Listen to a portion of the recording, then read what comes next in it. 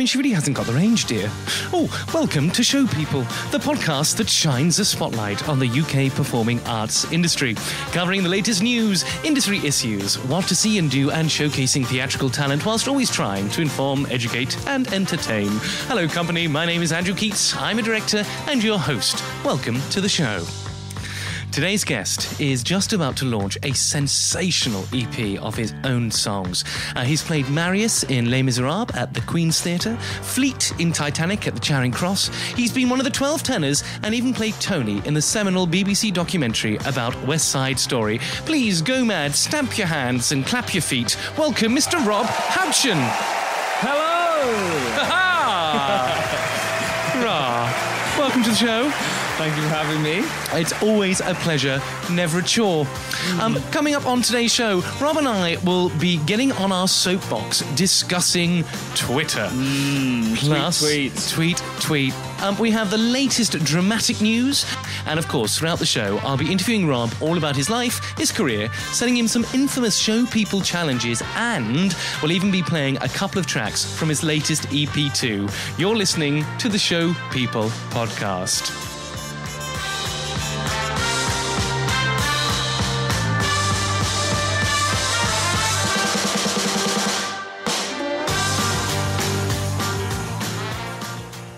Welcome to the show, Mr. Houchen. Hello, thank you for having me. Great to be here.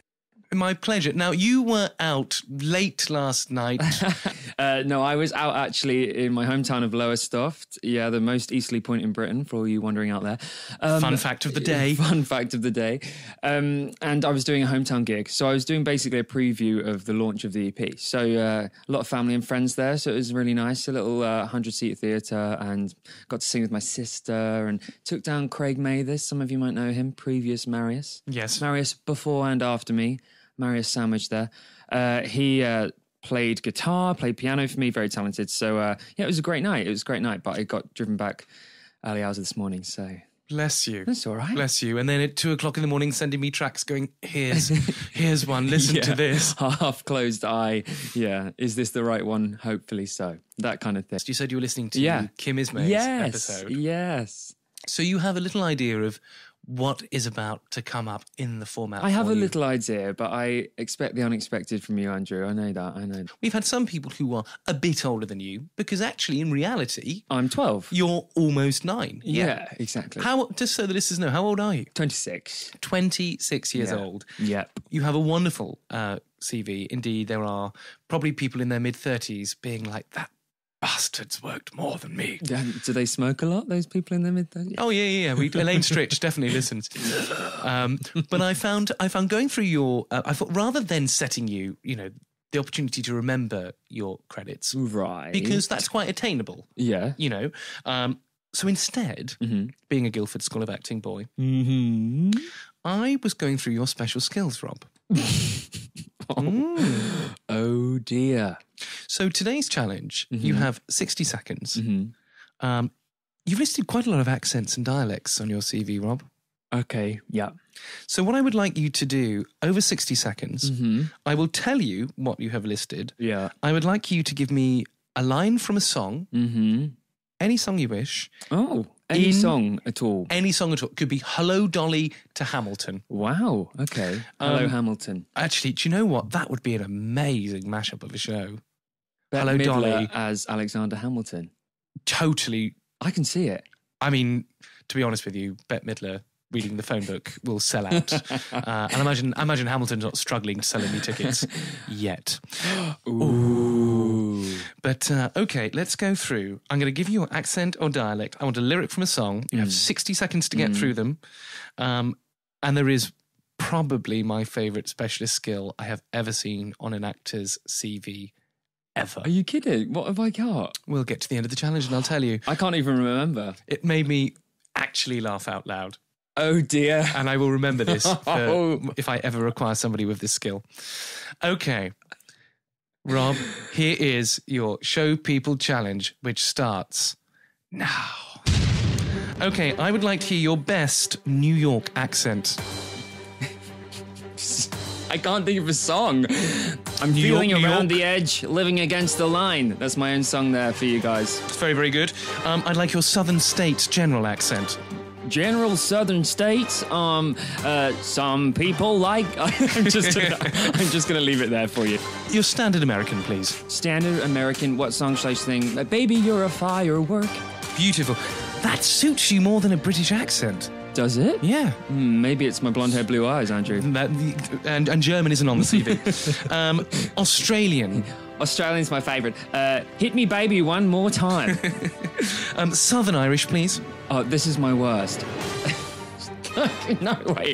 The music's making me so nervous. um, Southern Irish. What song shall I sing? Give me a song, quick. We've only got 60 seconds. Um, empty chairs, empty tables, please. There's a grief that can't be spoken. That is a pain. That was almost Daniel Day Lewis. Um, only missed a couple, which is a shame.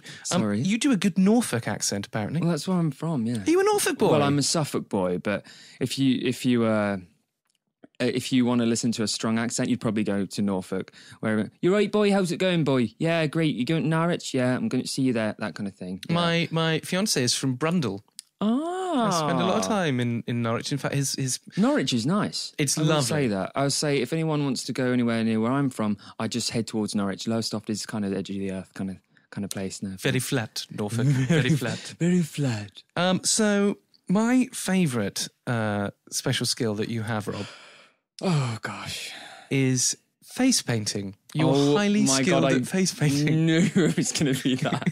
Do you know what? I am face painter and proud. I am very highly skilled at face painting, Andrew. Right. Yeah, I used to I used to do it as a summer job, and let me tell you, it's no easy skill. It's it can get quite technical. And how much would you charge for a typical face paint during those those summer days? Well, to a 14 year old, mm, slash up to the age of 16, I will admit, uh, as a summer job, one pound a face can get you a hefty 30 or 40 pounds. Only a pound? Yes.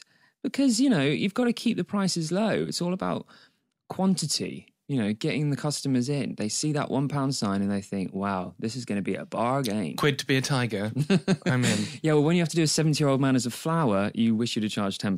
That's all I'm saying. But then I Yeah. think, but then I think that's when you can negotiate. It's just going over the wrinkles, you know, contours. It's it's all about that. But um, it's a Spider Man that I really banned. yes. Yeah, that takes seven hours. So So um, if you're looking uh, for, I nearly said if you want your face covered, uh, which makes it sound revolting. If you are looking to have your face painted, um, sod the singing, sod the experience and the training, um, contact Rob Houchen uh, by emailing info at arion-productions.com. We will pass his details on. Now, I, uh, I'm. I will, of course, cover some of uh, your credits later on in the show, but the main reason of getting one here uh, is to talk about your upcoming EP. yeah, Tell me a little bit about it. I've been I was listening to you in the shower this morning and going, and that wasn't because I was in the shower with you. That was no, no, no, no. It was that was No. because you were listening to a something playing my song. yes, yes, exactly, of course, exactly. I mean, although it's a large shower, entirely possible. Terrible acoustics. Um, tell me, tell me, tell me, what's the what's the EP called, and and tell me about your your journey to creating it. Um, I did a previous EP uh, called RH, which was which was covers. It was um, four covers and one original track. The last track, and it was recorded live, and it was called Warning Signs. And a lot of people said, you know, this track's great. Like, why why do you not write your own music? And I said, you know, it's a challenge I've always wanted to take on, and. Uh, I admire anyone that can do it, so I, I gave it a go, and I've written five tracks. One of them is warning signs uh, in a studio version, so a bit of a cheat. But um, the other four are brand new tracks, and uh, it's kind of it's kind of music that I feel is in the soul pop genre, and it's different parts of a relationship that you might be going into you might be in or you might be coming out of. You know, it's kind of like different experiences that I've had. And um, it's called Within Reach and it's out October 29th. So we're going to have a, a good launch in Putney and uh, have some nice guests. I've got the amazing Bradley Jaden, who was in uh, Les Mis with me as Enjolras when I was Marius. And he's a really good friend of mine. He's now Fiyero and Wicked. Uh, Tyrone Huntley, incredible voice I've always wanted to sing with. He's uh, currently in Dreamgirls, where he's been in Regent's Park uh, version of Jesus Christ Superstar. And he Uh, was sensational. Oh my god, that voice! I was just like, yeah, and everything. That show was incredible, and he was just a highlight of it for me. and um, yeah, Christina Lardo, who I did West Side Story documentary with. So it's just all these people that I've just loved singing with or want to sing with. So um, I'm so excited. I, I, can't, I can't wait. Yeah, it's amazing. And the, the launch event, are there tickets still available for people. Yeah. to get along? So how do you book tickets for it, Rob? You just go on the Half Moon website. It's uh, halfmoon.co.uk, and you can follow the links there to the event on the 29th. And um, tickets are £15 online or £18 on the door if you decide to buy last minute uh, on the 29th of October. Um, so, yeah, it's, uh, it's a bargain for all the talent that's going to be there. I've also got uh, an old friend, Craig Mather, on the drums. so, so, not on the drums, sorry. Oh, damn. On the guitar. if he's on the drums, he'll be panicking right now because uh, he can't play the drums. But um, yeah, Just gonna everything else. Yeah, everything. Uh, he can, he can. Craig Mather on the harpsichord. Yeah, Craig Mather, one man band. Yeah. Um, yeah, so he's going to be there as well. It's just a, a good old family and friends group of all all people that I love to sing with. I can't wait. But what I really liked listening to it, I mean this in all genuine sincerity, um, I love how soulful it is. Oh, nice. Thank you. Thank you. Yeah. It was, yeah, it was just so lovely to hear something so soulful, particularly with the passing of someone like George Michael, for example. And you Mm, don't, you know, you don't hear many young people trying to to to access that part of their Yeah. side, Yeah. and I loved it. I completely agree. I completely agree. It's a it's a big part of of of what I want to do as as a music artist. I want to bring soul into my singing because it it's inspired by the, the Stevie Wonders, the Luther Vandross, and George Michael, and and it's I see that in people like Sam Smith. You know, it's it's really it's nice to see someone like him, um, in particular, release some really beautiful, soulful music that um, a younger audience and generation can listen to and tap into. Because yeah, like you say, there's a lot of uh, electronic sounds out at the moment, and a lot of pop that doesn't uh, you know, doesn't necessarily have that depth in vocal and might just be like catchy hooks and catchy tunes. But I think it's really nice when you can hear something and a song maybe that could literally just be piano and and the vocal just take you somewhere, you know, and and um, that's what I'm all about is that kind of soul vocal. Yeah. And you've written a lot of these tracks yourself. Yeah, so all of them were originally penned by me, and um, I I worked with a producer, you know, on the uh, the accompaniments and things, and like elaborating the production side of things. But but yeah, it's it's all been me, and I can't actually. Uh, I admit I can't play the piano to a, a great degree, so I, I sit there and I basically work out the chords myself and um, and some melodies that I like, and then someone helps me with elaborating that, and and we go from there. Really, yeah. And I noticed as well uh, on your website that you're also offering a chord booklet if people want to purchase it, as Yeah. well as very, very snazzy t-shirts. Everybody, if you are looking for a great new pair of pajamas, get on Rob's website. Yeah, yeah. Instagram pictures of you wearing that. I love it. I love it.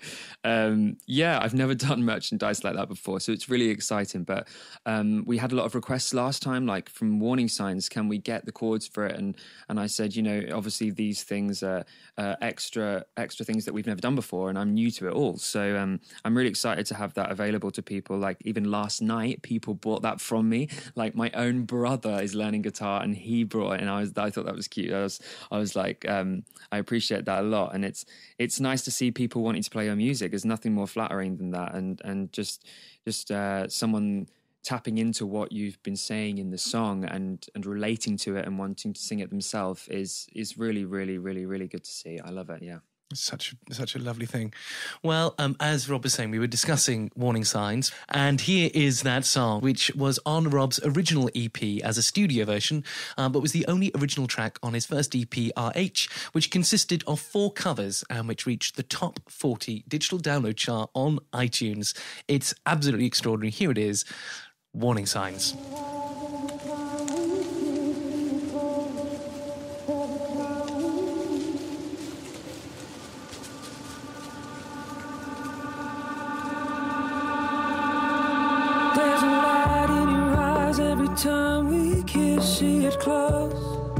Every time we kiss. Makes me feel I'm home. Hold my face in your hands as we stand out in the night. Not sure, but I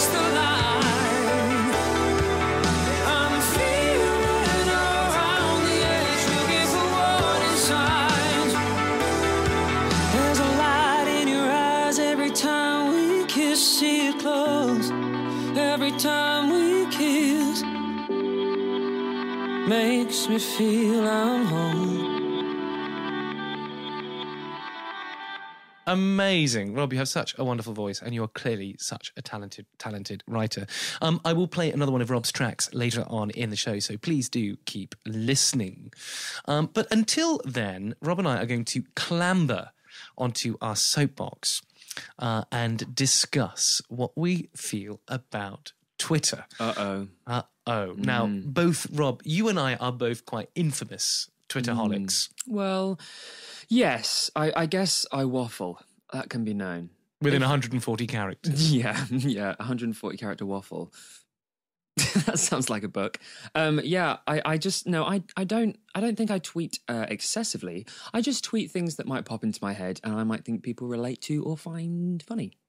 Do you do you ever find yourself perhaps tweeting things that do pop in your head and then you go, no, no, no, no, no, delete, delete, delete. Must remember to to be aware of, of what I'm putting out there. Sometimes, I mean, it's not necessarily for me. Sometimes I know people can have things like, "Oh, that's too controversial," whereas for me, it might be that might be a bit too toilet humor directed. Like once I did say something about how long you spend on the toilet if you're on your phone that might not have been classed as classy. So uh, the other day, I did think. You know, maybe I should tweet just letting everyone know how skilled I am at taking my socks off when I have a wee. But then I thought, no, that's probably not going to go down too well. So I just avoided it. And I felt actually quite impressed that I did made that decision. Do you know what I mean? And I imagine you obviously have a, a laminate floor uh, in your bathroom. One no, hopes. that's the skill that, you know, not a drop was spilled. I mean, I don't know if I'm more appalled at the fact that you can do that or that you've got carpet in your bathroom. Or that I needed to. What, Or- what a time stricken life I lead. uh, I'm quite a, a person of great creature comforts, so nothing I enjoy more than like a, a, duvet. Hmm. Yeah. Uh, and it's that skill of being able to get your toe just behind the back of the sock and take them off without using your hands. Hmm. Well, That's a skill I've developed I over spoke years. to a friend, Celinde Schoenmaker. Sorry if I said your name wrong, Celinde. Um, if you're listening, uh, but she was saying to me how I. She actually genuinely said, "It's not me blowing my own trumpet," but she said that I tend to tweet things that come up in her head. She just thinks it. Like the other day with the yellow sky thing happened, and I said, "Guys, London's on night shift mode," and she was like, "That's exactly what I was thinking." Like when I said, if you bring a towel out of the airing cupboard, it is just the nicest feeling ever. You know, the warm towel after you got out of the shower. things like that, creature comforts, like you say. there is a sinister side to Twitter as well, where I don't know, you you get people like Katie Hopkins, for example, Mm. who will, in my opinion, put out hate speech Mm. and encourage vitriol Yeah. on social media. And my I've, I've just done a, a reading with Rufus Hound, and we were discussing social media as he Mm. encountered some trouble with uh, social media in the past. And he was saying to me, because whenever I see something from Katie Hopkins, my instinct is to either go, rah, rah, rah, Yeah. rah, I hate you, I hate Mm. you, why do you live? But that's what she wants. Yeah. That is exactly Mm. what she wants. And that's Mm. what Rufus said to me. He said, You are just enabling her by fueling her yeah. with her hate. And it's, you know, these Mm. these companies like her newspaper columns and radio shows and TV shows and all these things Mm. she does, they know that as a product, she kicks up a hornet's nest and then I respond to it, then she gets a career. And it's like, why Yeah. why do I fall I for it? And it's hard to sometimes sit back and watch watch that happen. Do you think that artists need Twitter in this day and age? I think, unfortunately, I say unfortunately, um, it does help a lot, and uh, I think that it is it is something that does benefit you, but you don't need it. You don't need it if you've got the talent and the drive and the way to access avenues uh, in other forms, but it does help. I get a bit frustrated when casting directors will look at followers as to who they're going to cast in a show, who they're going to give the job to, because I think that really that should be beside the point. It's all about talent and who's right for the role. Um, but I also think that in terms of the way I use Twitter, it's about reaching out to people and um, letting them know, you know, sometimes that you feel the same as they do, and and showing the work you've done and sharing the theatre industry with people, and so that they can see um, all the different aspects and sides of it, and also see the humanity of people. You know, because um, like you say, there's a lot of people out there that tweet nasty stuff, and like I sometimes I just want to tweet about hot towels from the airing cupboard and just make people smile, you know, and and I think that's quite a important part of it. And um, my friend Eva Noblezada, who's now in Miss Saigon and Broadway. She tweets and Instagrams a lot of really personable, brilliant things uh, about you know protecting yourself and really inspiring for young women because she knows that they're all going to be watching her and her fans are in that kind of demographic. And i think that's so impressive. And I, I think that that is one way in which social media should be used like more and more. And um and yeah i'm i'm all for that. I suppose it can also come down to taste because you, Mm. again, often when I've sat down with, uh, you know, a few queens having a few drinks in some Mm. vile gay bar somewhere, you always hear, "Oh, look, there she goes! Delighted to announce another Kenwright tour." and you think, well, hang on a sec. I mean, look, being very, very British, we don't like boasting very much, you know. Um, Mm. But at the same time, whenever I see someone is delighted to announce they've got a job, I don't, Yeah. I don't die inside like I know some No. people do. I'm sort of like, brilliant, they've got a job, Yeah. marvelous. yeah Um, and because it's funny because when something becomes um, repeatedly tweeted in that sense, like it becomes a joke. So you know when people do it now, like blessed or de- delighted to announce, like Yeah. you say, it's been done so often that it it's almost like you can hear someone sighing as they type it, like, "Oh, people will react this way," and that's that's what's kind of sad about it is because they just want to let you know and let friends know that they've got a job, and that's fantastic. And as you know, really hard nowadays. and it's clearly just and it's clearly come you know or originated from some actor that has just copied something from an old-fashioned press release Yeah. we are delighted to announce the Yes. lyceum will present yeah, you know um, exactly. and but th- but then at the same time I, I think i think the other thing we've got to remember we we are artists Yeah. obviously and the only thing i do struggle a little bit about um and i'm always i'm always quite uncomfortable with this Mhm. I go to the theatre what three, four, five times a week. That's my that's my job as an artistic director. But it's when somebody will go, "Oh, Andrew, make sure you tweet." And the difficulty I have is, what if I hated it? Yeah. Um, and secondly, I'm not a critic. I'm not a Mm. reviewer. Even with this show, I'll recommend things that I think are going to be really great. Yeah. But I'm never going to go and see something and Yeah. say, I give it four out of five stars. No. Not a reviewer. Don't want to be a reviewer. No. Don't have the skills to be a reviewer or the interest. But it's that difficult thing of if I do see something and perhaps it's not to my liking, Mm.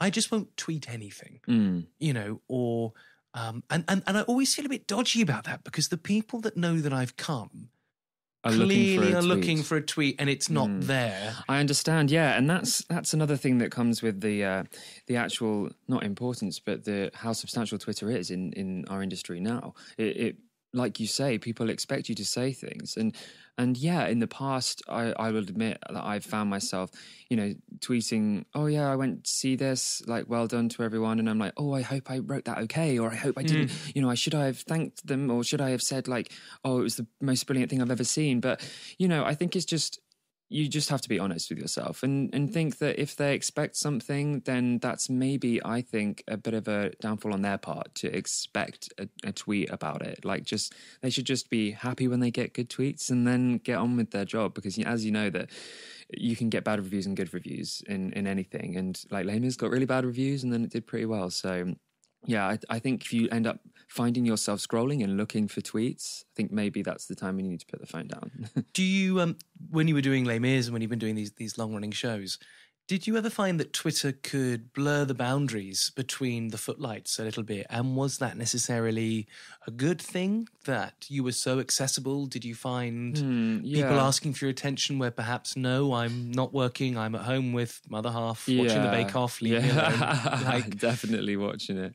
Uh, yeah, it's it's interesting, and I work with uh, Carrie Hope Fletcher, a good friend of mine, and I I I really um appreciated the kind of insight I got into Twitter through her because she's so good at it and and so professional in the way that she deals with social media, and um and when you know i got this interest from people that i didn't know was going to come in my life because i didn't know i was going to get this job uh, so early in my career um, i was so uh, i was kind of not sure how to deal with it. And I, and like you say it was kind of like oh people see you in the street and then they tweet you that they've seen you and and you were kind of like just shopping or just you know walking to work or something and you're like okay i now need to kind of weirdly be on guard for my whole life do i? Is that what i need to do? And and and it's it's interesting and it's obviously a very like it's a microcosm compared to pop stars and massive stars and movie stars across the world.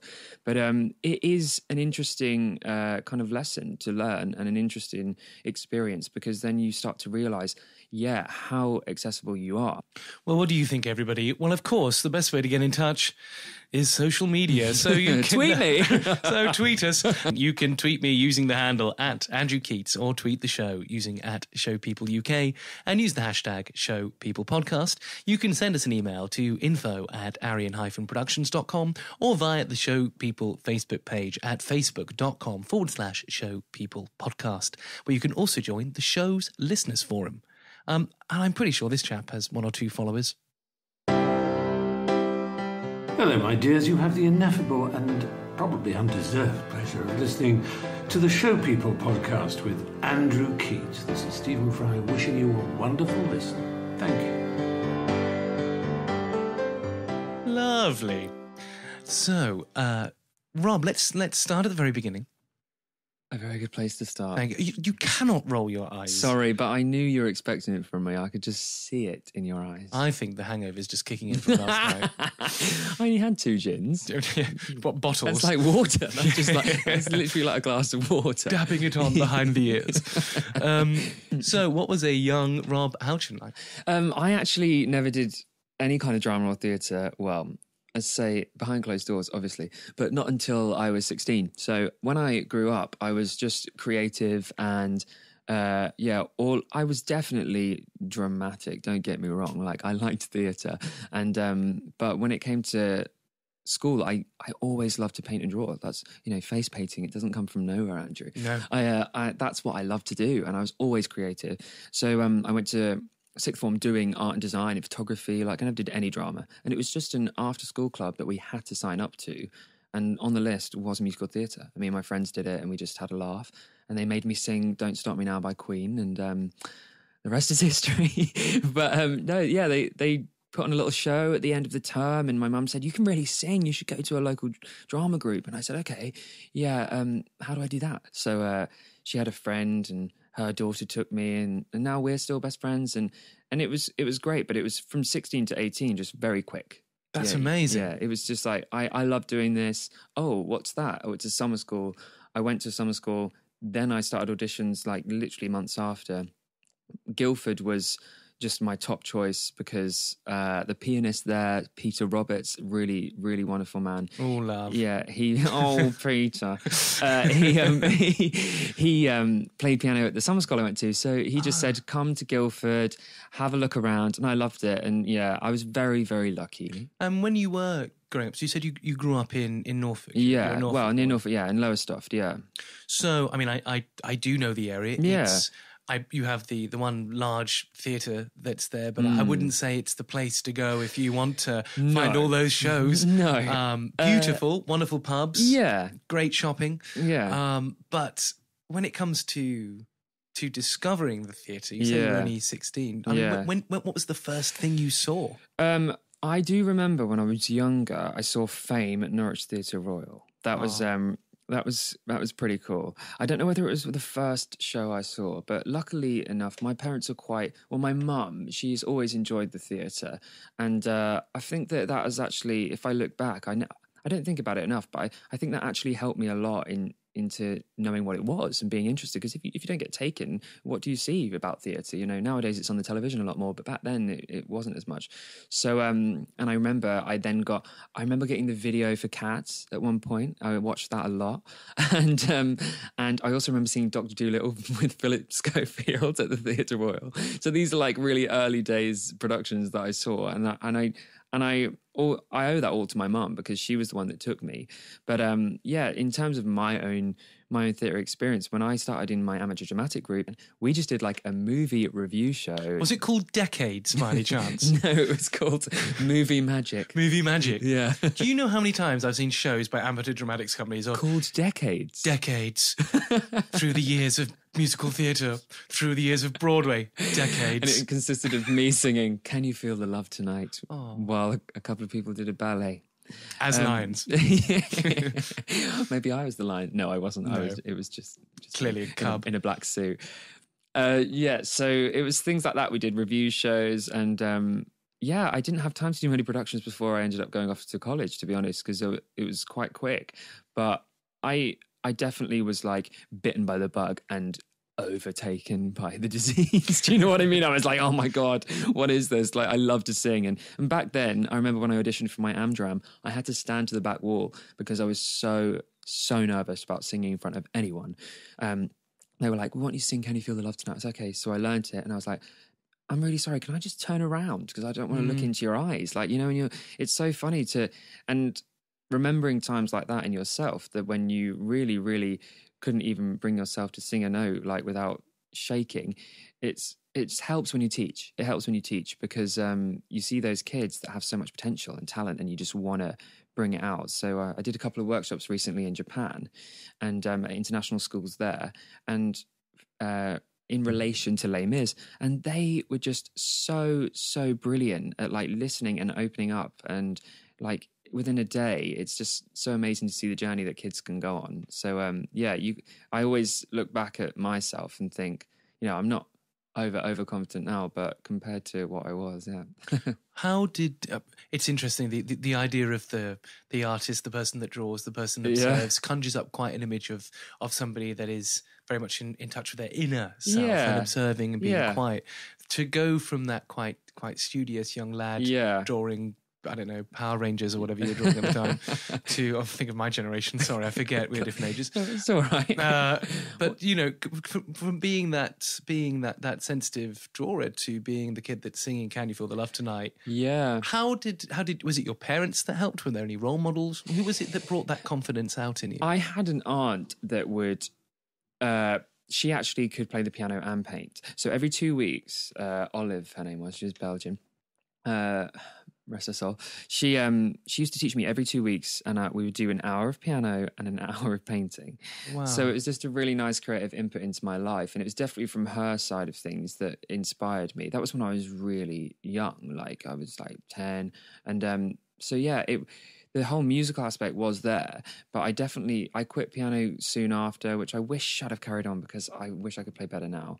But um, the painting I've been doing ever since, like that's something that I've done like I still do now. Like I, I love it because it's that kind of therapeutic way of just like you say, going into mm. yourself and not and you know, not having to worry or, or be judged. Like, you know, you can just create something and then and then if if you come back tomorrow and it's not what you want, you just go over it, you know. And it's it's so nice. Like with each brushstroke, you like you learn new things, and it's very related to singing in a way. But but like you say, yeah, it, it's a bit of a leap from that to performing on stage. But I guess I was kind of painting and creating and putting my uh, my kind of like views in into the paper and then showing them. Whereas with singing, it was kind of direct. Do you know what I mean? There and then giving myself to, uh, to the audience or whatever. So it kind of was just that step that that needed to be taken. And um, yeah, it was definitely influenced by my aunt. She was she was a big influence. So we are both uh, GSA uh, alumni. Mm-hmm. So tell me about that application for drama school. What we, what did you do to prepare for for GSA?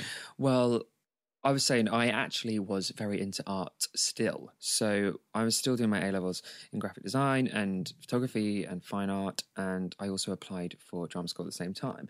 So I put both the applications out and got into both. So I was like, okay, what do I do now? Like because you know, even though my heart was clearly in musical theatre, I still thought, you know, I've been doing art for my whole life, and uh, obviously, really, there was no decision to be made. But in the end, um, I decided to go to drama school. But it was definitely me suddenly thinking, oh my God, this is going to be day in, day out my life. So I needed to, like, I'd never danced before. Like, that was a new thing for me. So I was like, making sure that I had all the equipment for that and and just kind of preparing myself mentally for everything and, and making sure that I I knew it's not like a uni degree where you do a couple of hours lectures a day. It's nine to five or, you know, eight to six. Like it's long days of hard work. So you've got to go knowing that that's what you want to do, I think.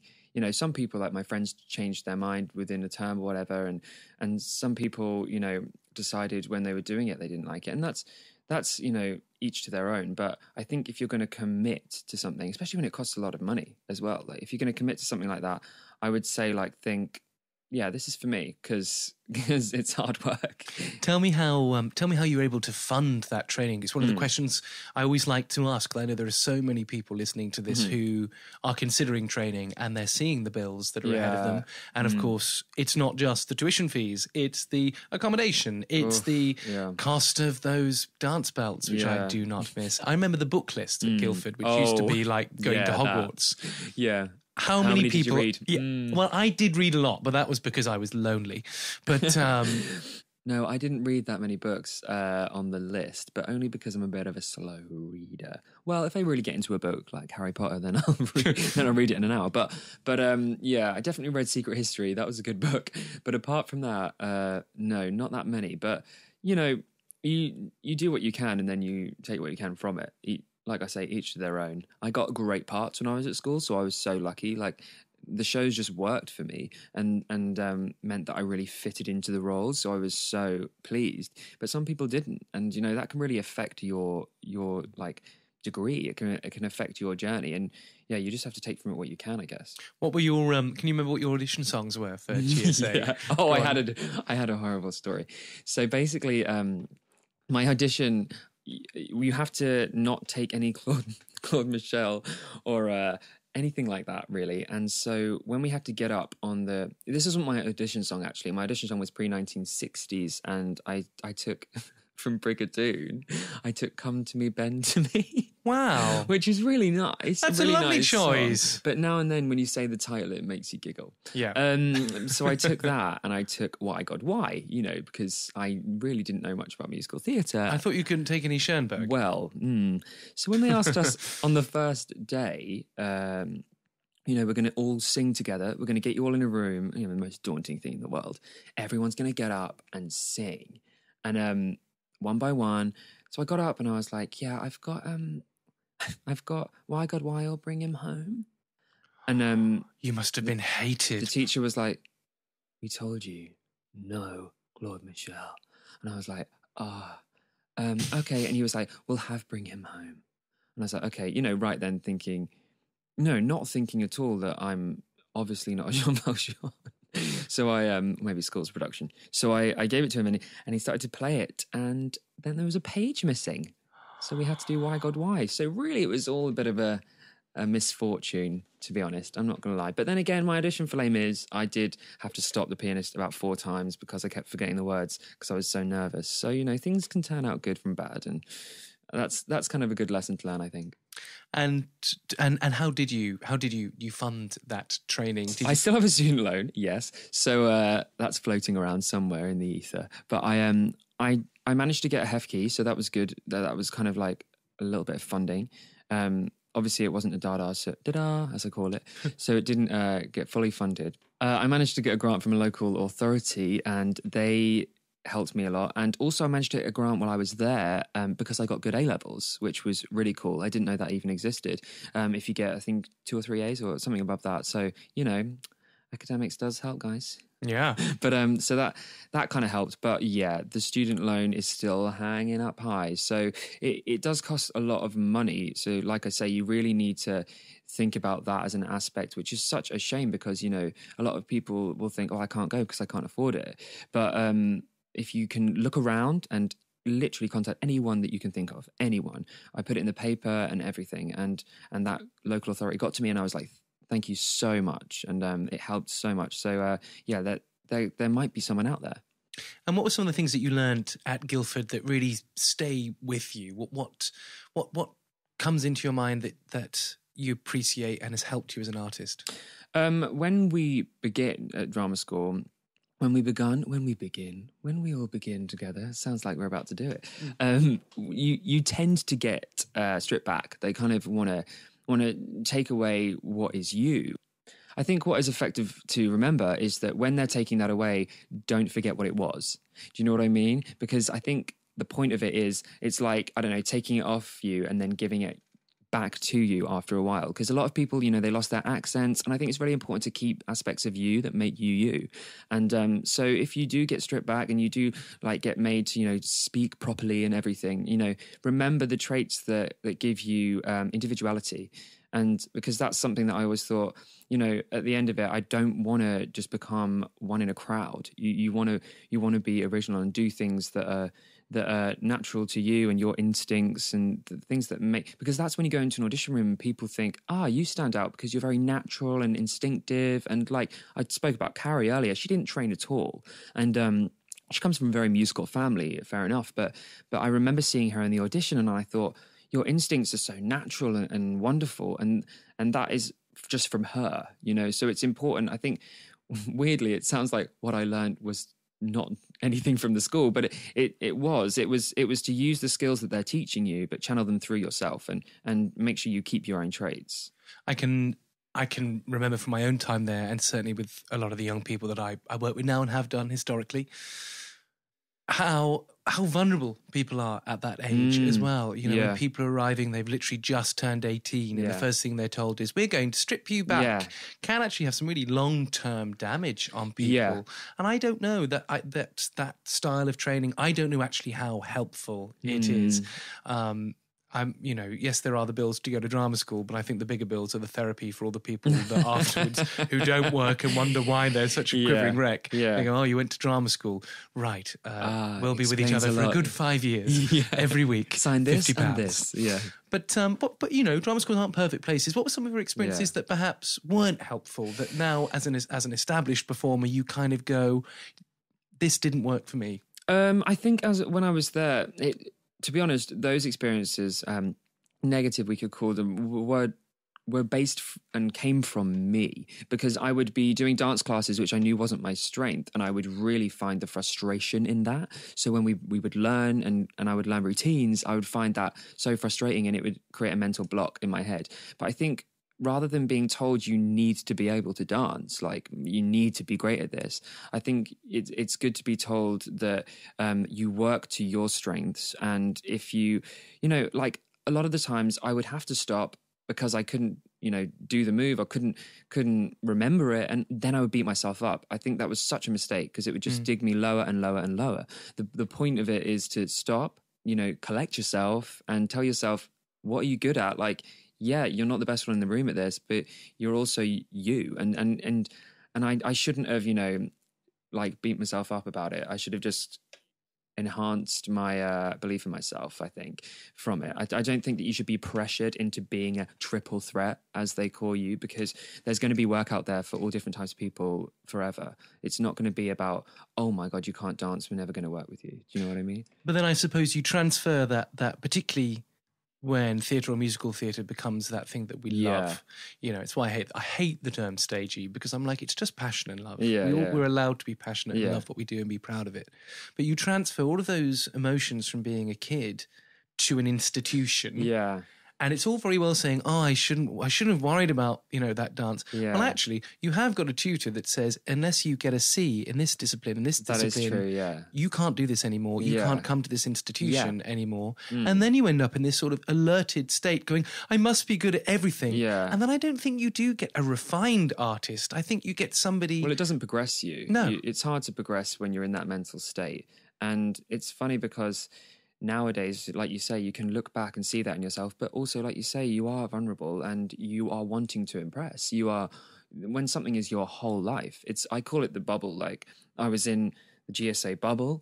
And like, like when I was in Les Mis, I was in the Les Mis bubble. And, and it's like, you, everything is different. Everything means different things depending on what is your core, what is the core of that bubble. And when when it is, you know, like when it comes to agents and when it comes to final shows, and the, the tension is so high. And a lot of my friends didn't get agents, and then they still went on to do fantastic things. Uh, a good friend of mine only recently has had an agent, and he's worked for years and years off his own back. You know, contacting people himself, and he's done amazing jobs. And it really isn't the be all and end all. And I think the pressure which obviously needs to be put on in some respects in terms of, you know, be the best you can be, but also there's not a sense of realism there. Do you know what I mean? Of what can happen. well, uh, we could get on our soapbox probably talking about drama schools immediately after. How many soapboxes do you have? As many as you want. As many as you want. Rob is going to be with us uh, for the rest of the show, of course. But now we descend into dramatic news. That's right. In today's dramatic news, uh, the Show People podcast was nominated for Favourite Radio Show or Podcast in the Theatre Community Awards. Uh, we didn't win, sadly. The award went to our friends at the Sunday Show Tunes. However, we are deeply honoured to be nominated after only five episodes. Thank you for the recognition. Vicky Featherstone has announced a day of events programmed in response to Harvey Weinstein revelations. The artistic director of the Royal Court has responded to people who have spoken out about abuses of power in the theatre industry. Following the news coverage of Weinstein, Featherstone tweeted last week to ask what should be done. In response, she has set up an industry wide town hall session where the verbal code of conduct already practiced by the Royal Court can be communicated to the wider community. There will also be an opportunity to learn from other organisations and a sharing space set up, led by Royal Court Associate Director Lucy Morrison. The event will take place on Saturday, 28th of October, between 12 and 5 pm and is free with no booking required. The Young Vic has announced that Executive Director Lucy Woollett will step down in December after a decade at the venue. Woollett joined the theatre as Finance Director in 2008, moving to her current position two years later. Alongside Artistic Director David Lan, she's overseen a transformation of the venue, which has seen the company's income double and multiple productions transferred to the West End and Broadway. During her employment at the Young Vic, uh, the Young Vic has won six Olivier Awards, four Critics Circle Awards, four Evening Standard Awards, and the Stage Theatre of the Year Awards in 2015. On her time in the role, Woollett said, I'm incredibly proud of what we have achieved night after night at the Young Vic on tour and in the West End. And our final story The Rink will be coming back to London. That's right, at Southwark Playhouse next year. Uh, the first production is to be staged uh, by Adam Lenson. The Rink follows Italian housewife Anna, who runs a roller skating rink. She's about to sell it when her estranged daughter returns and is determined to save it. Uh, the Rink runs from the 29th of May to the 29th of June with previews from the 25th of. Are you involved in a show that you'd like to tell our listeners about? Please let me know. Just email info at arion-productions.com and we'll do our best to share with our listeners.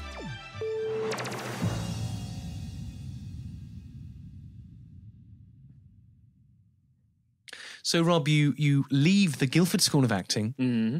What happened next? Um, when I left Guildford, I realised that in the big wide world, jobs don't just come knocking at your door straight away. So I needed to earn a living. So I heard, as a vulnerable graduate does, that um, there was a recruitment company that uh, hired you to work at Harrods and other stores. It's very common. I think a lot of uh, graduates ended up working there. So I went through the process and ended up doing some shifts at Harrods and John Lewis um, on the shop floor, selling things like Ormonde Jayne perfume and, you know, trying to get people to buy and get commission. Um, and yeah, it was interesting to think, ah, so that bubble that I'm now out of um, doesn't exist anymore. And my core of, I didn't really have a core. It was like, I'm in the big wide world on my own. And um, that's something that you really need to prepare for. And I think drama schools should prepare you for because um, I think that's one thing that I didn't really have enough of was um, preparation into living on your own, living, you know, the taxes will follow, not yet, but things like that, you know, and getting jobs and working and, and just being being a normal self-employed person because suddenly I was and I didn't have that student loan well. I did still have it there somewhere, but I wasn't allowed to use it. Um, yeah, so it's it's it, it, was it was difficult, but it was also uh, like an experience and a good learning curve. And then I managed to get a job working with the Twelve Tenors, which toured Germany. So I went with them. Um, and we went all around different parts of Germany on a bus, and and that was incredible. And uh, it was really hard work, hard on my voice. I was singing opera, singing rock, pop, like everything, and um, incredible harmonies. And we would do a show one night, and maybe get a coach to another venue the next night, and it was just like very hard work. And I was living out of a suitcase, and it was a good first job to have. It really was good grounding for me. But when I was in um, I think I was in Frankfurt or s- somewhere like that. I got an audition for Les Mis, and then I had to fly back.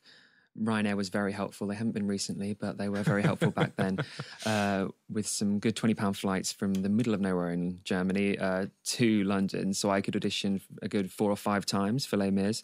Um, I was young and unafraid i was going to say i was young and naive i didn't i didn't really know uh, much even about the show.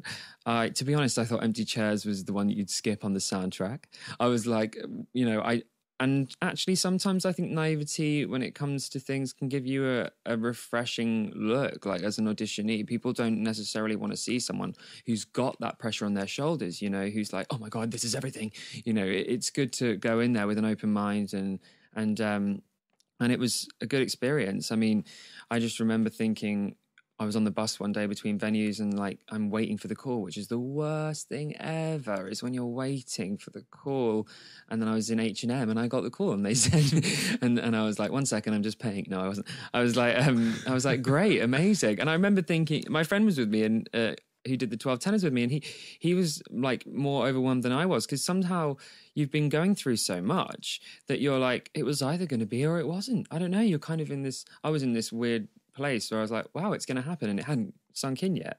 So I got a couple of weeks after I finished uh, the 12 tenors and then I got to start Les Mis. Taking you back to uh, Harrods or Horrids, as I've uh, heard it called. How, did, did, I mean, did you just see that as a means to an end, or did you find that quite A means to an end. You know, did, was it was it quite soul destroying? Because you know, I see uh, as somebody who, of course, has been to Harrods. I see the way that people just walk past the vendors there without making eye contact.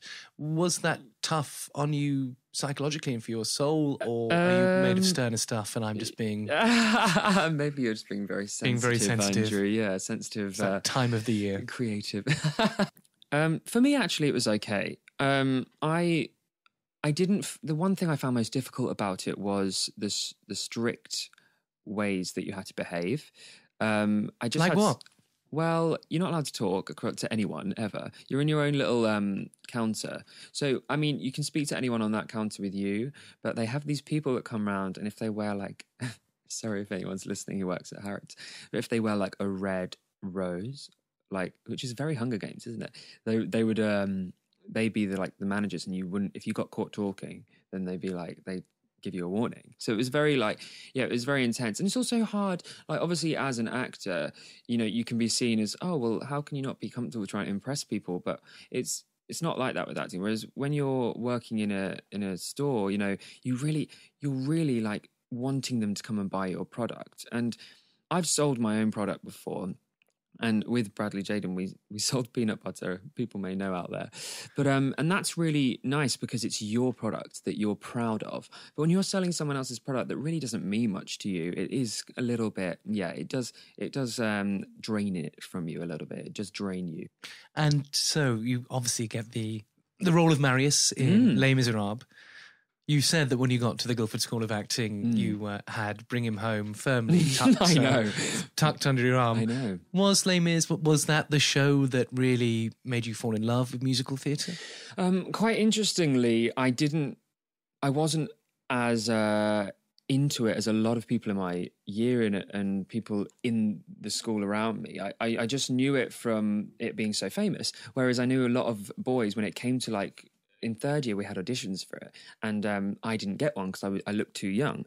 Um, so everyone else was getting auditions for it when they would come into the school, and I was like, oh, like this is interesting, this is exciting, isn't it? But I wasn't really that bothered, and everyone was like, oh my god, this is my life, like I need to get it, and um, like Les Mis is just like, literally like stars, like in the corridor you'd hear every five minutes, and um.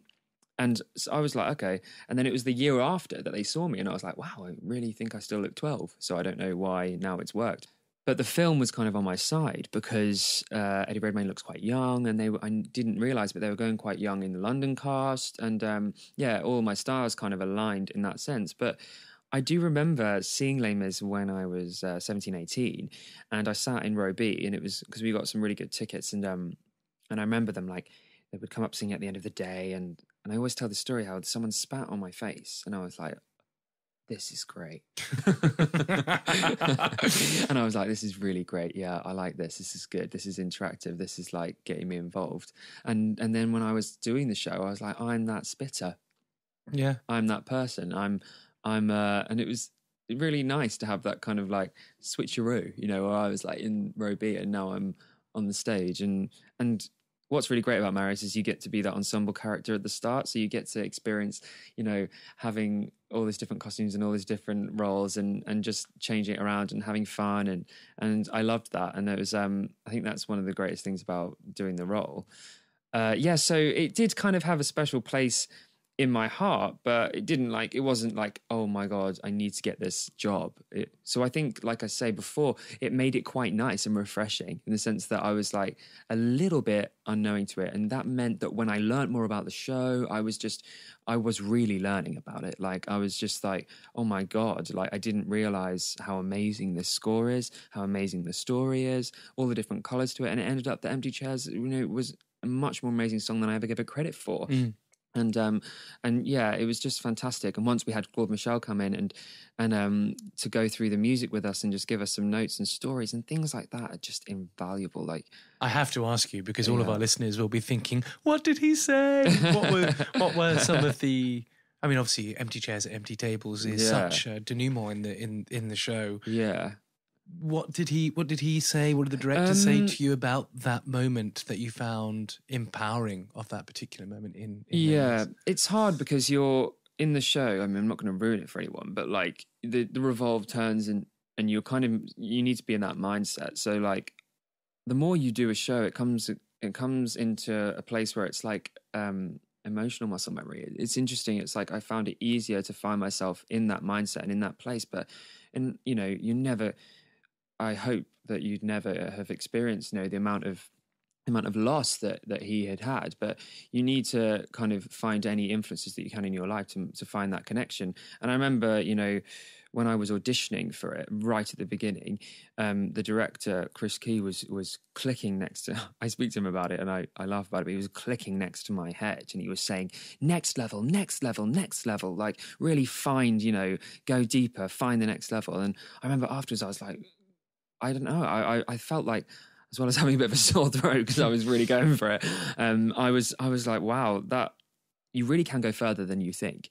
And um, and I if if a song is sad, it doesn't mean you have to like whisper it. Do you know what I mean? It's like it, it really is finding dynamics in it. And when Claude came in, he didn't necessarily speak in about that song in particular, but he was giving us a lot, a lot of um, background from the songs and, and the way he'd written them, and the way that things like um, "Look Down" was was old uh, original chants from workers that he put into it, and and it's finding like reality in it. It's finding realness because because obviously like this can, it can be a beautiful fairy tale story you know where where so and so gets the girl and whatever but unless you find in a reality in it then i don't think people are going to you know connect. They're not they're not going to find themselves in your shoes. So that was that was what i was looking at a lot How um, how long were you in the show for? i was in the show for two years and eight months i think me and How- carrie started together so we said we kind of weirdly managed to work it so that we finished together because then they could get a new Eponina Marius in and, and it was so nice. They they gave us a little speech at the end and yeah, I honestly wouldn't have had it any other way. It was great. Now there will be some people out there who go, "If I got into Les Mis, I'd be there forever." As indeed there, there are some people who have been. Uh, tell me, how do you maintain that focus, that concentration Mm. over such a long amount of time without just going numb to everything? What what can you do? Yeah, it's kind of it's interesting. You get that question a lot, and you get that question of, you know, did you just go in and it end up being a job? And I just feel like if it starts becoming that, then you need to look at ways to reinvent the role for yourself, ways to reinvent the places you go to to get to certain levels, certain emotions. And I would just think, you know, you don't. It's day days are going to be different things in your life are going to happen and and that's what you need to apply to it and so for me it would always be fresh not only because your actors would change because people were on holiday people were ill and and you'd have different people to work with that did different things and obviously you'd react in different ways and and um have different connections in certain ways and and um, le- it would lead you down different paths. And and I think it's always good to just keep an open mind and like an open heart when you're performing and to make sure that you know you're not restricting to a certain way that you do this show because that is when it will become monotonous. And and that is when it will become boring for you and it will just suck the fun out of it. You've got to keep having fun and playing because for me that's what I kept doing and therefore it made it feel fresh and luckily I never had that problem And were you sad to see the end of Les Mis? Did you do you have any regrets? No, um, I'm so glad that it, I left when I did because I wasn't clawing at the walls to leave. You know, like you say, like some people they might find that oh god, creatively I've reached a point where I I don't want to do this job anymore, which, which is really sad. And I hadn't. I still really enjoyed it. And it's funny because you think when you know that you're going to leave on a certain date, like people will say, you know, "Ah, this is my last year or whatever, whatever. You're like, oh god, I've got a few months left. You know, I've got plenty of time. Like, and then suddenly it's one week to go, and and you're just like. I haven't got anyone a card. do you know? Oh God! Like, do you know what I mean? It's like, oh, I need to do a book full of photos, which is very me. Just like, oh God, I need to do everything. I need to make seven cakes. So, um, so I was like, oh, oh my gosh, this is a big point in my life about to end. But you've just got to embrace it and make sure that that doesn't. I, there was a, a point when I had a slight danger that um, it was going to make me put too much pressure on myself, which is uh, as a running theme of this podcast, something that I have done before, and um, which meant that you know my voice wasn't as good as I wanted it to be, and I was not hitting notes in the same way. But I was like, towards the end, I thought, do you know what? Let's just live it and, and just love it. And I was like, I'm not gonna, I'm not gonna worry about that. And I, the adrenaline gets you through anyway. And you know, let's face it, your voice is never going to be amazing when you're crying in every scene, even though if it's a happy one. So, uh, so, so you just, I, I had a really amazing last show. My mum and my sister in the front row, which you know, I did say it could be off-putting, but it was okay because, like I say, I was in such an adrenaline place anyway. It was, um, it was really nice, and and I remember after Little Fall of Rain, when Grantaire comes over and he gives you a hug, I was like, "Ah!" yeah, I was. It was real. It was like real. It was gut tears. It was a lot. It was a lot. But um, but I was yeah sad in a happy way. It was just like looking forward to new things and and people say like, would you go back and do it again? Um, and it's nothing against the role or the show, but I just feel like I had such a nice time. I would like to leave it in that picture frame. Do you know what I mean? I don't. I don't. I'd love to just leave it there. Maybe come back as another role in the future when I'm a bit older. But I had such a good time that I'd like to just look back at it as that. So we're going to go back to your album. Mm-hmm. So I um the reason I chose to play this song second is when I had a, a, a listen to it, I found a touch of sadness to the song. Was how how I heard it. I wondered that the song is obviously safe and sound, which is beautiful, and I thought, well, let's not open the show with a downer. Um, Might be slightly harder, but perhaps you might like to say. That's why Empty Chairs isn't the opening number. Can you imagine? but no, honestly, I, I I found it very very touching. I was very moved when I listened to it, and the there is an ambiguity to the lyrics, Yeah. which is a sign of a great songwriter, but also it's clearly not something that you've just done.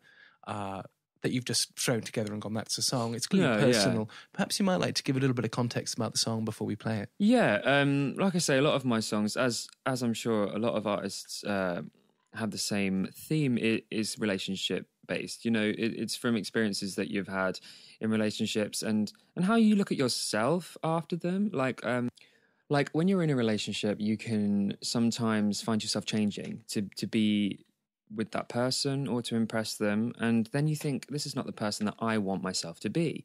And I think this song is kind of like that. Like it's not like an fu song do you know what i mean? It's like a it's it's it sounds like that in the lyrics sometimes but it's more like do you know what? Actually i don't need to alter the way that i am and and chase you. I can actually just be myself and let go of you and find something better for me and and go back to the way that I wanted myself to be. Because if you're not happy with yourself then you're not going to be happy in the relationship at the end of the day. So at the end of the day can't help but smile every time I say that line. Um yeah so it's it's kind of about that. It's about really thinking do you know what? This this person isn't the one. It is it isn't it isn't going to happen.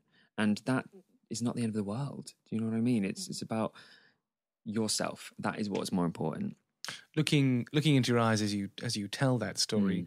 there is clearly some figure that is that is part of your your past.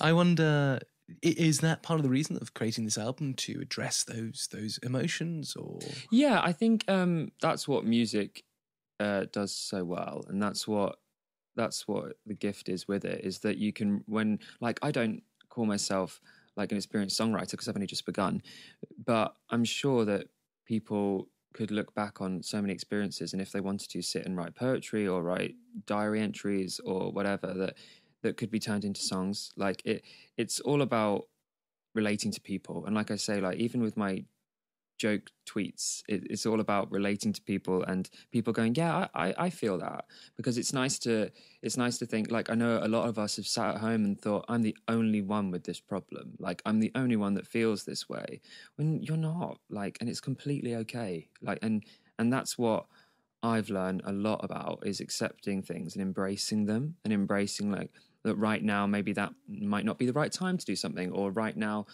you have to do this like you have to end a relationship now because otherwise it's just going to get worse or it's just going to affect you both and it's it's not the end of the world it's just the end of this thing. So I, that is definitely personal to me. Like i went through a tough time in a relationship and i thought rather than you know this getting worse and, and being destructive it can end up you know ending here and moving on and and proving to be in the end positive mm-hmm. Well, uh, talking about relating to people, I, I absolutely related to the song. I think it's absolutely beautiful. Thank you. Um, here is Safe and Sound, sung by Rob.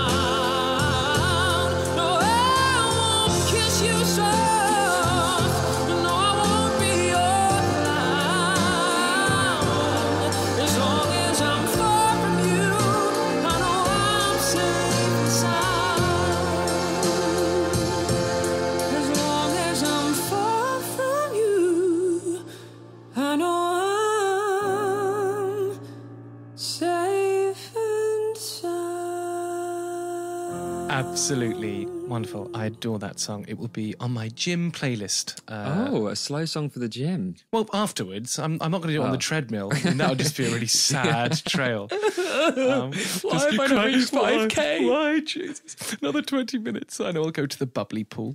Um, sorry, letting you into my inner monologue there, listeners. Um, I'm very excited to say we are about to have a show people first. Oh.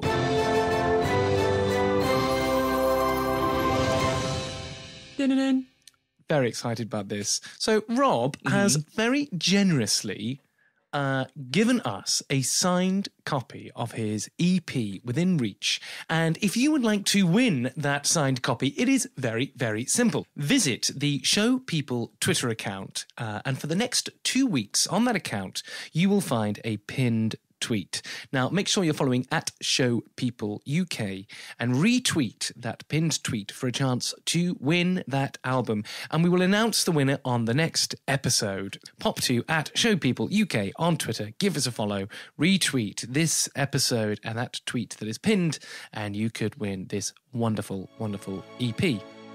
Hello, this is Kim Ismay, and you're listening to the Show People podcast with Andrew Keates, and I hope you're having a wickedly interesting time.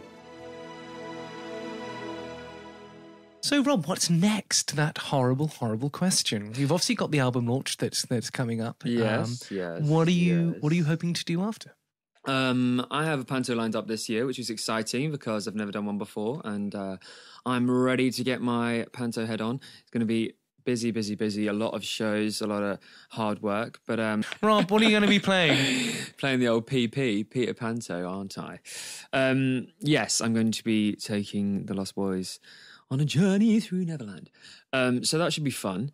But then the next year, I honestly don't know. I'm gonna. I, I would love, love, love to make an album at some point, but acting is my first and foremost passion, and that is what I want to do. So it's whatever comes my way. What's so beautiful about your energy, which I, I find myself trying to explain to other actors when they're sad or miserable because they they didn't get that job in Les Mis or whatever, is so much of your happiness seems to come from you actually creating and occupying your creative part of you, whether that Mm. Yeah. be sat drawing or writing lyrics or sitting at a piano. Definitely, definitely. I just think that otherwise, I would.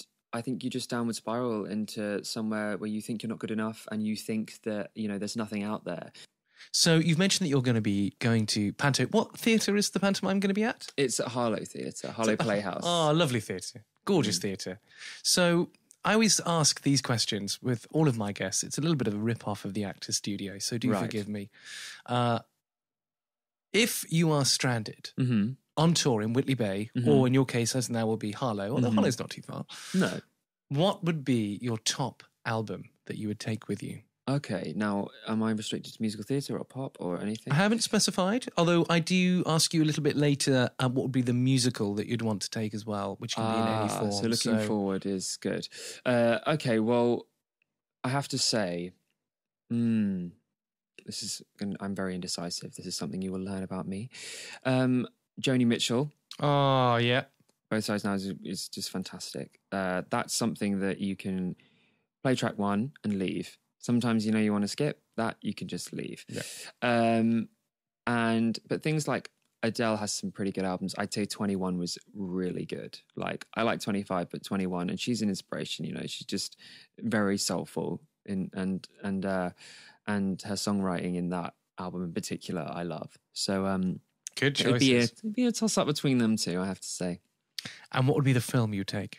The film, I've got a soft spot for Jumanji. That's always been one of my favorite films because you know it may not actually no, it could it could jerk a few tears, but um. Well, it is now. It is now. He's dead. I know, and he's my favorite. So um, yeah, That's Any- Robin Williams. In case anybody's sorry, wondering, yeah, what any- is this? Anything with him in it, but um, but no, that is one of my favorite movies. But Matilda was a favorite movie as well. Those are the two movies that just bring me back to my childhood, which is just um, warms my heart. So I think uh, one of them. and what would be the book? Um, it would probably be Harry Potter. It's just got to be, hasn't it? Uh, Goblet of Fire. I love Goblet of Fire. What house would you belong to? I'm in Ravenclaw. You're clearly a Hufflepuff. Well, I like to think people that might think that because I'm, you know, blonde hair, blue eyed, I'm that Hufflepuff vibe. But I, I think I'm pretty suited to Ravenclaw. I did used to hope for Gryffindor, as everyone does, but I'm happy with Ravenclaw. I've got Ravenclaw pride. You and I would be in the Hufflepuff Are you drama Hufflepuff? department. No, I'm Gryffindor, which makes no sense. Oh, oh, I know. Okay. But then Slytherin, I would be totally Yeah, fine with yeah. Slytherin. I Sorry think most producers would be in Slytherin. Do you think? Yeah, the, the the ones that are successful, definitely. Oh, okay, okay. That's a that's a big statement to make there, Andrew. Be a proud Ravenclaw. I'm a proud Ravenclaw, yeah, but I am my hedgehog. My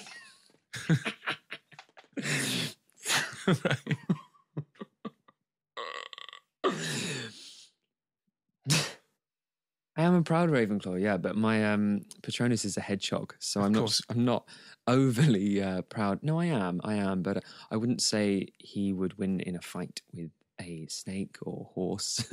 but he's, you know, he's got qualities that I actually can relate to. You know, Like being full of pricks. Yes, that's the. I walked right into that one. Didn't Yes, you I? did. I bumbled in like a little hedgehog. you bumbled in, indeed. And what would be the. Uh, oh, I've done that one. Sorry, I've come over all queer. And what would be the. We've all been there. And what would be the play? ah, the play. Harry Potter and the Cursed Child, parts one and two. I do love those plays. Don't get me wrong. Cast me, cast me, cast me. Um, no, I, I actually really enjoy Little Voice. I once did an essay on it when I was at school, and um, yeah, I just love it. I, and it's one of the first plays I saw, weirdly enough. But um, I have to say, I bought People, Places, and Things recently, and I know that's really like adhering to the hype. And I read that like three times because after seeing that, I thought I was blown away. I thought that was fantastic. It was an extra- extraordinary production, and the play's amazing. Mm. I have no. I do have a soft spot for London Road. I don't know if you can. or You can call that a play with music. Well, musical play. I'd say the form is a musical. Yeah, but um, because that's based on Ipswich, which is near where I'm from. So I'm, when I see that and I hear it and I hear those accents, it's very. I that had a special place for me as well. And uh, what would be the what would be the musical? Would that be would that be London Road? Or? No, the musical would be Sunday in the Park with George. Oh, it's my favourite show. time. Oh, I knew it. I knew it. Finally, somebody says my musical. Yes, it is the greatest musical ever written, in my humble opinion. Yes, I- dream role for me when in one day. But George Seurat. Yeah. And what would be the what would be the luxury item? You can take any luxury item with you to Whitley Bay. What would it be? Oh, interesting. See, surely someone said like something to play music on, and you're like, well, you're only allowed once one one album. I mean- no luxury item. That's interesting. What do you class as luxury? Um, I reckon it's got to be if it's luxury, maybe like photos of some kind, or maybe notebook and pen, because you know you can really learn some things from writing some things. I was going to say it should be like pen and pencils or Yeah. something. Surely, Yeah, like face paints. face paints. yes, face paints. Snazaroo, sponsored by Snazaroo. And then after a year, you would have funded enough to return. yeah. Marvelous. Well, there we go. Now it is getting to my favourite part of the show, Oh, which I'm what the end? No, it's not the end yet. It is not the end yet. As um, as we've been quite frivolous in this podcast, the two of us, I think we should be just a tad more frivolous in that Okay. I have in front of me some utterly pointless questions. Okay. You must answer as many questions Mm. within five minutes Mhm. as quickly as possible. Mm. Some are quite personal.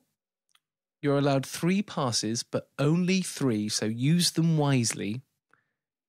Rob, let's play Funny Five Minutes.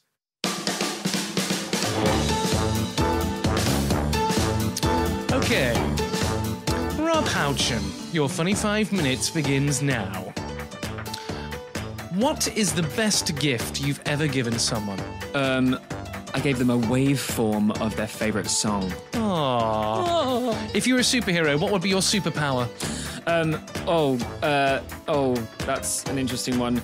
Move things with my mind. Move things through your mind. Uh, cats or dogs? Oh, dogs, sorry. Um, if someone narrated your life, whose voice would it be? Oh, I don't know. Probably a a small animal. Uh, Yeah, let's think. I don't know. Chipmunk, probably of some. Because chipmunks Yeah. are very famous for Yeah. their narrating skills. um, anyway, uh, what's the last lie that you told? Um, oh, that's very interesting. I don't know. What What's the last lie I told? Oh, it's always that. Sorry for getting back to you so late. Lie. yeah, that one. Yeah. Who was your teenage crush? Um, who was my teenage crush?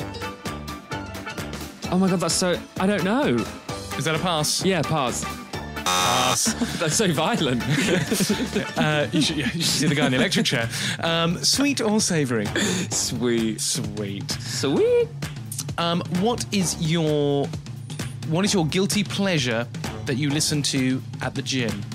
Oh, uh, oh, there's a lot of young pop there. There's a lot of like, they've got some Katy Perry going on, but that's not really that guilty. Demi Lovato, that can come on. You know, those things that even Britney Spears came on the other day, Stronger, and that does make you feel stronger. That is literally the greatest running song you can listen to. I There we go. Uh, what would your autobiography be called? Ah, well, I planned that it might be called A Load of Rubbish. Load of rubbish. Yeah. Very good. Um, what would your last meal be? Oh, roast dinner every time. Roast dinner. Um, have you ever been abducted by aliens? Never. They made me say that. Never do. Uh, do you have a favourite Disney film? If so, what is it? I really like Hunchback of Notre Dame. Um, would you rather fight one horse-sized duck or a hundred duck-sized horses?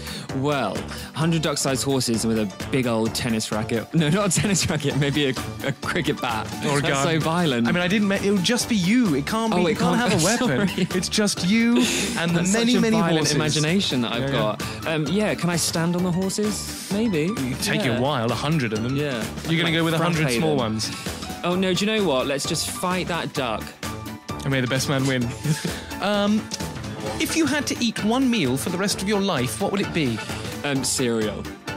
Um, how many boxes? This is especially for you. How many boxes of cereal do you own? Ooh. Do you know what? No, I don't own that many. It's just what I fancy at the time. So at the moment, I've got one and some granola. Um, who is the ugliest person you've ever kissed? Oh. The Mirror, Minnie Mouse Teddy. Um, what is the greatest children's show? Oh, get your own back. No, no, actually, that's a lie. Mona the Vampire. No, wait. Oh, I just can't. Is that a pass? No, don't do that to me. Okay. Yeah. Um, What are the best kind of pants? Um, see-through ones? no, I'm kidding. like that sounds gross. Um, oh, definitely Calvin Klein briefs. Calvin no, Klein- hang on, boxer briefs. Boxer briefs. Um, if you ordered a pizza, what would your order be?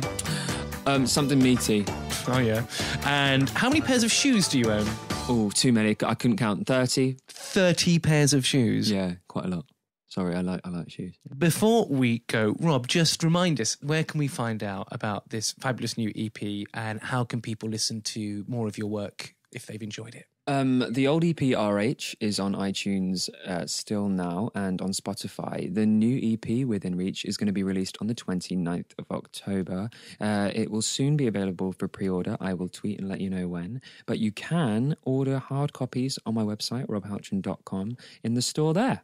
Oh, and that noise tells me that is all the time that we have left. But before we go, I must say an enormous thank you to my wonderful special guest. Please make sure check out his album. Do support him. He's a young artist doing extraordinary work, and just buying an album will really help fund future projects. Please let's hear a studio audience recording for the wonderful Rob Houchen.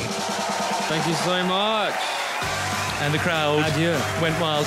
Um, Rob, how can uh, people follow you on Twitter? What's your address? It's just at Rob Houchen. That's Rob- the one good thing about having a very original name. It's never taken. um, Rob, thank you so much for doing the show. Thank you Um, so much for having me. My absolute pleasure. Now, listeners, this podcast is produced by Arion Productions Limited, dedicated to giving opportunities to theatre makers. If you love the podcast or if you can support the work we do, please visit www.arion-productions.com slash donate and sling us anything you can so we can do more for UK theatre makers, like the rehearsed reading of Blowing Whistles we did at the Criterion Theatre last week. Um, you can help us by giving us an iTunes review, as that really helps with the magical Apple algorithms to help us reach more people passionate about performing arts and their craft. Lastly, if you've got any comments, ideas, or things you want to send into the show, you can reach me on Twitter at Andrew Keates. You can send an email to info at arion-productions.com or like the Show People page on Facebook at facebook.com slash show people podcast, where you can also join the Show People Listeners Forum uh, and engage in some lengthy mass debate. Don't forget to enter our special giveaway by visiting at Show People UK, retweet the pinned tweet, and you could win one of Rob's EPs, and it will be signed. From all of us at the Show People podcast, until next time, thank you for listening, and remember, just be better.